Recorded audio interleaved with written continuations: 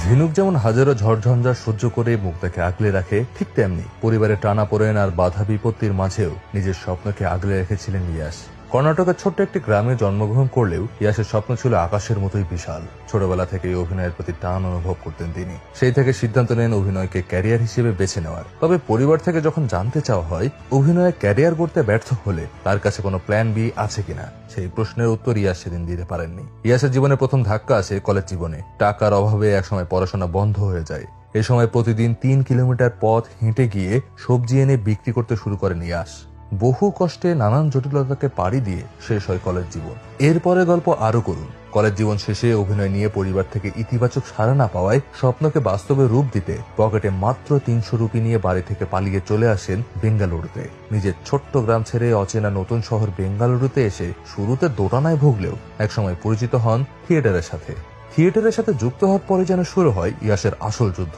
থিয়েটারে extra artist হয়ে কাজ করতে শুরু করেন ইয়াস। একসময় ছোট বড় অনেক পরিচালকের আসা যাওয়া চলতো ইয়াসের থিয়েটারে। কাজের প্রতি ইয়াসের ডেডিকেশন দেখতে পেয়ে অল্প সময়ের মাঝেই স্টপ নামে একটি সিনেমার অ্যাসিস্ট্যান্ট ডিরেক্টর হিসেবে সুযোগ পেয়ে যান। কিন্তু ভাগ্যের নির্মম পরিহাসে কিছুদিন বাদেই বন্ধ হয়ে যায় সিনেমাটির কাজ, মেলেনি পারিশ্রমিক। তবে নায়ক সুলভ চেহারার কারণে সুযোগ পেয়ে যান একটি টিভি সিরিয়ালের পার্শ্ব অভিনেতা হিসেবে।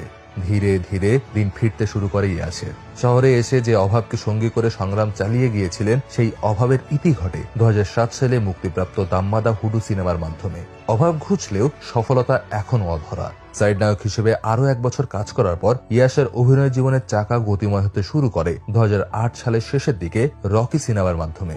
রকি সিনেমার জনপ্রিয়তার সাথে সাথে ইয়াস তার নামের আগে রকিং স্টার তকমা পেয়ে যান। রকি সিনেমার পর আরও নয়টি সিনেমায় লিড রোলে সুযোগ পান ইয়াস। ক্যারিয়ারের এগারোতম সিনেমা বদলে দেয় ইয়াসের ক্যারিয়ার। গুগলি নামে এই সিনেমার মাধ্যমে কন্নড় ইন্ডাস্ট্রির প্রথম সারির অভিনেতায় পরিণত হন ইয়াস। প্রথম সারির অভিনেতার তালিকায় নাম লেখানোর পর আর পেছনে ফিরে তাকাতে হয়নি ইয়াসকে গুগলির পর তিনটি ব্লকবাস্টার আর একটি ইন্ডাস্ট্রি হিট সিনেমার মাধ্যমে সবাইকে জানিয়ে দিয়েছেন কন্নড় ইন্ডাস্ট্রির রাজত্ব এখন তার হাতে। সালটা দু ইয়াসের আশেপাশে তখন পরিচালক, প্রযোজকদের সমাগম। এদের মাঝে প্রশান্ত নীল বসেছিলেন গোটা কন্নড় ইন্ডাস্ট্রির রূপ বদলে দেওয়ার সিনেমার স্ক্রিপ্ট হাতে নিয়ে। সুযোগ মেলে ইয়াসের সাথে কথা বলার। এর আগে প্রশান্ত নীল উগ্রাম সিনেমা দিয়ে বেশ আলোচনায় চলে আসায় ইয়াসও আগ্রহী হন প্রশান্ত নীলের গল্প শুনতে। এর পরের ইতিহাস আমাদের সবারই জানা। তেরো বছর বয়সে সার্কাসে কাজ করা ছোট্ট ছেলেটি কি কখনো ভেবেছিল তার আশি কোটি বাজেটের সিনেমা একসময় বলিউড বাদশাহ শাহরুখ খানের দুইশো কোটি সিনেমার মুখোমুখি হবে? ইয়াস এমন স্বপ্ন হয়তো দেখেননি, কিন্তু স্বপ্ন দেখেছিলেন বড় সুপারস্টার হওয়ার। জিরো সিনেমার সাথে ফাইট দিয়ে কেজিএফ এর সফলতার পর ইয়াসের ক্রেজ ছোট্ট কন্নড় ইন্ডাস্ট্রি ছাড়িয়ে গোটা উপমহাদেশে ছড়িয়ে পড়ে।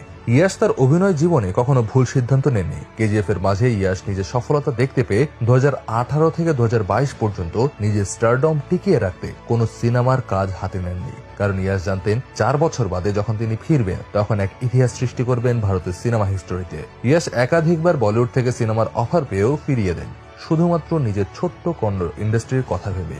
যে ব্যাঙ্গালুরুতে ইয়াস তিনশো রুপি নিয়ে এসেছিলেন, সেই ব্যাঙ্গালুরুতেই নিজের পরিশ্রম আর প্রচেষ্টার মাধ্যমে কিনেছেন ছয় কোটির বিলাসবহুল ফ্ল্যাট। অভাবের তারনায় এক সময়ের সবজি বিক্রেতার গ্যারেজে এখন পঁচাশি লাখ টাকার মার্সিডিজ বেঞ্চ চল্লিশ লাখের পাজেরো স্পোর্টস আর সত্তর লাখের রেঞ্জ রোভার